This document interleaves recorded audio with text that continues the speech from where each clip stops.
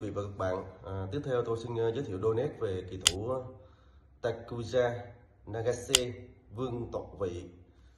Tức là à, kỳ thủ đang giữ vương à, danh hiệu à, Oza của Nhật Bản. Oza tức là vương vị à, kính thưa quý vị và các bạn. Thì à, Takuya Nagase sinh ngày 5 tháng 9 năm 1992 là một kỳ thủ chuyên nghiệp người Nhật Bản và được xếp hạng là chiến đẳng anh đang là người hiện giữ danh hiệu Oza tức là vương vị trong thế giới cờ sugi chuyên nghiệp và là người trước đây đã từng danh, giữ danh hiệu là uh, uh, vương tọa thì uh, về cái uh, cuộc đời thì Nagase sinh ra ở Yokohama của Nhật Bản vào ngày 5 tháng 9 năm 1992 và anh ấy bắt đầu học chơi sugi từ năm 6 tuổi từ ông nội của mình. Và vào trường học viện tức là học học trường sơ cấp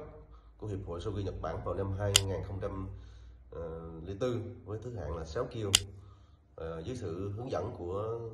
giáo viên ờ, Sogi chuyên nghiệp đó là thầy uh, Terukata Yasue tên hơi khó đọc một xíu nhưng mà đây là một và anh ta được lên thành một đẳng một đẳng của thế giới Sogi học Việt đó vào năm 2017 và tham gia liên đoàn ba đẳng lần đầu tiên vào ngày ờ, vào tháng 4 năm 2008 và kết thúc với là 13 trận thắng và 5 trận thua trong cái thế giới kỳ, cờ ba đẳng. Thì đó là thế giới tiền thân để mà anh ta bước vào thế giới ờ, ờ, sau khi chuyên nghiệp với cái thứ hạng là 4 đẳng. Thì Nagase có tư cách chuyên nghiệp và hạng 4 đẳng là vào ngày 1 tháng 10 năm 2009 sau khi vô địch giải ba đẳng lần thứ 45 à, ờ, vào tháng 4 năm 2009 và tháng 9 năm 2019 với thân từ tháng 4 năm 2000 tháng 4 đến tháng 9 năm 2009 với thành tích là 14 trận thắng và 4 trận thua. Về sau khi lên ờ, chuyên nghiệp vào tháng 10 năm 2012 thì Nagase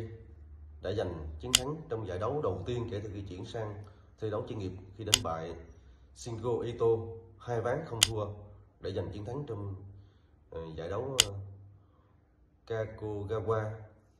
Shiryu lần thứ hai. Và tiếp theo đó là đánh bại Tetsuya Fujimori. Vài ngày sau đó để giành chức vô địch uh, Shinjin O Shinjio vào lần thứ 43 với tỷ số là hai ván thắng một ván thua. Và lần đầu tiên Nagase xuất hiện trong một trận tranh đai tranh ờ, danh hiệu lớn là vào tháng 6 năm 2016 khi anh thách đấu với ờ, ờ, uh, Yashi Haru Habu Yashihiru Haru Habu tức là kỳ thủ uh, Sugi huyền thoại của Nhật Bản. Uh, để tranh đai Kishi kỳ thánh lần thứ 67 87 và Nagase đánh bại Yasuaki Murayama trong trận chung kết để để mà đấu thách thức tiến tới trận đấu mà thách thức thôi, đấu danh hiệu với Habu uh, Kishi.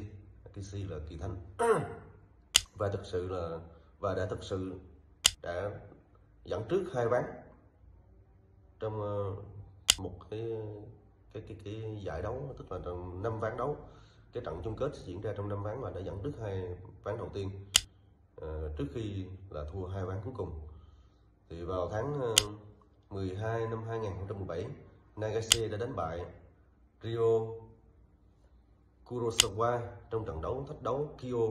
lần thứ 43 để giành quyền thách đấu với Akira Watanabe. Đây là một kỳ thủ cũng là một kỳ thủ sinh năm 1984 là một thần tượng của tôi. Để tranh uh, danh hiệu Kyo lần thứ 43. Tuy nhiên, Nagase đã không thể giành được cái quyền uh, danh giành giành được danh hiệu lớn đầu tiên của mình khi để thua Watanabe với tỷ số là Ờ, 32 vào tháng ờ, 3 năm 2018 và vào tháng 2 năm 2019 Nagase đã đánh bại Tatsuya Sugai ờ, với tỷ số là 2-1 ở vòng loại trực tiếp để mà trở thành người thách thức cho giải đấu tranh danh hiệu EO lần thứ 4 và giành quyền thách đấu với Tachika Takami. Và trong trận đấu